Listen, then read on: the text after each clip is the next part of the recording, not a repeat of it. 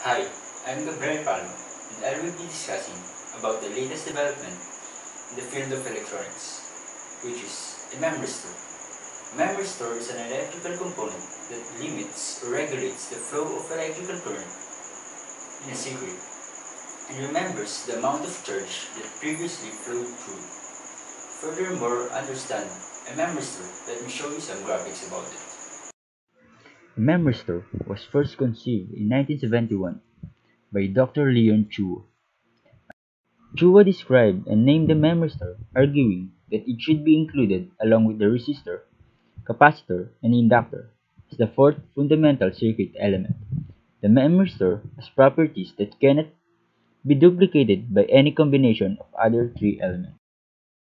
And later on, on 2008, the first memristor was created at HP Labs by Stanley Williams.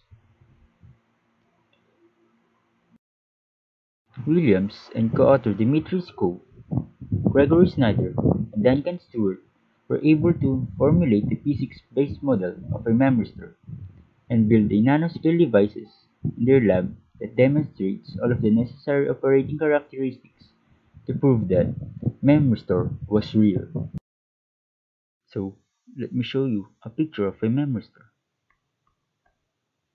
This is a chip with 8 memristor in it. It could be purchased for 220 US dollars.